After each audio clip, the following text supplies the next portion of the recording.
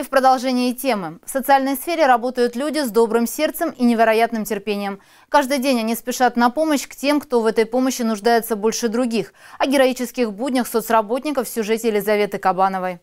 Социальная работа несет множество трудностей, не только физических, но и моральных.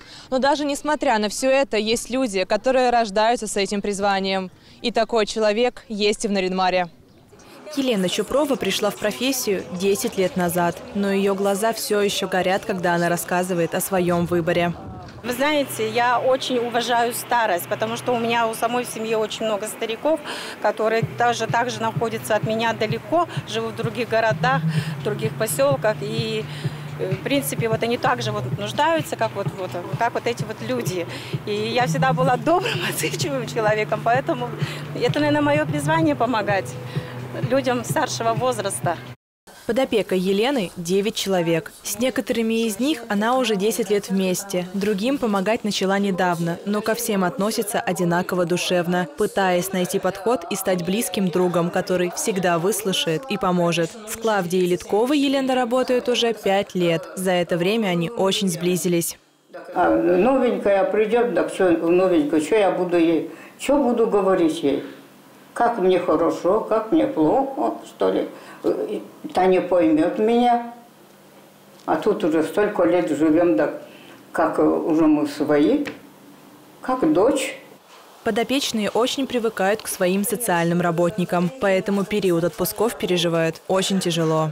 Вы понимаете, они уже становятся да, как близкими, как родными людьми, потому что бывают моменты, вот, э, там уходишь ты в отпуск, да, или еще куда-то, вот предупреждаешь вот их вот, вот у меня отпуск, я поехала там отдыхать, они начинают переживать, как мы будем без тебя, а кто к нам придет, говоришь, придет другой соцработник, ой, да как я буду с ней, а вот это. Елена навещает своих подопечных два раза в неделю, помогает им с обязанностями по дому, оказывает медико-социальные услуги, да просто старается поддержать и быть рядом.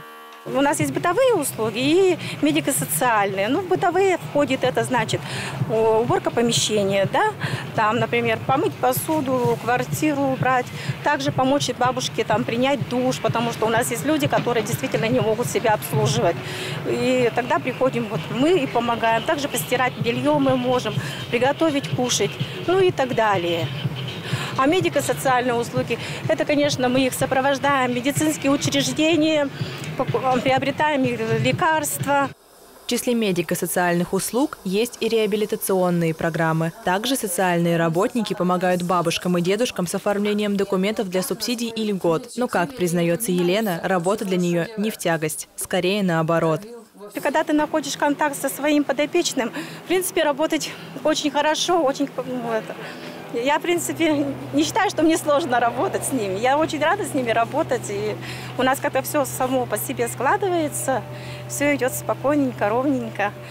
Они всегда у меня вовремя обеспечены всем продуктами питания, лекарственными препаратами. У них постоянно сделана уборка, оплачено, оплачены коммунальные услуги. Ну, в общем, все, что входит в мои обязанности, я стараюсь им сделать все это вовремя. Елена – сотрудница отделения социального обслуживания на дому комплексного центра социального обслуживания населения. Помимо нее в городе обслуживают население еще четыре социальных работника. Восемь социальных помощников трудятся в селах округа. Под их опекой находятся 96 человек, которым требуется помощь социальной службы. Елизавета Кабанова, Леонид Шишилов, Дмитрий Лукевич, телеканал «Север».